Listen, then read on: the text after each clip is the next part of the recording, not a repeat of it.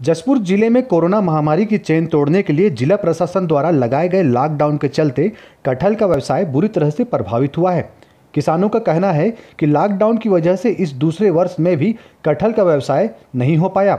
Lockdown के दौरान बाहर के व्यापारी कटहल खरीदने आ नहीं रहे हैं, जिस वजह से स्थानीय बाज़ार में कटहल का भाव नहीं मिल पा रहा और किसानों को नुकसान उठाना पड़ रहा है और पेड़ों में कटहल अब भी लगे हुए हैं। इस साल हमार कटहल बहुत फलिस है और कोरोना कर महामारी कर वजह से पिछले साल भी हमार कटहल कर खरीदारी नहीं हो पाई और ये साल भी कोरोना कर वजह से व्यापारी मन कटहल खरीदे पर आते नहीं है और हमन ला लाखों रुपया का नुकसान होता है और ऊपर से ये कोरोना के महामारी में बहुत ज़्यादा खर्चा है और ये गाँव कर जो किराना व्यापारी मन है, ऊपर से मन बनाप शनाप दाम लगाते हैं।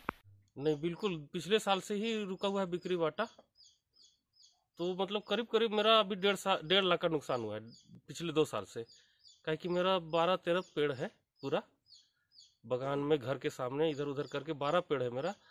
पर हर साल मतलब डेढ़ लाख का इनकम होता था जो अभी के डेट में दो साल से बिल्कुल नहीं है। और बाकी लोग का भी वही हाल है पूरे मोहल्ले का पूरे पंचायत का। तरुण प्रकाश शर्मा ईटीवी भारत जसपुर।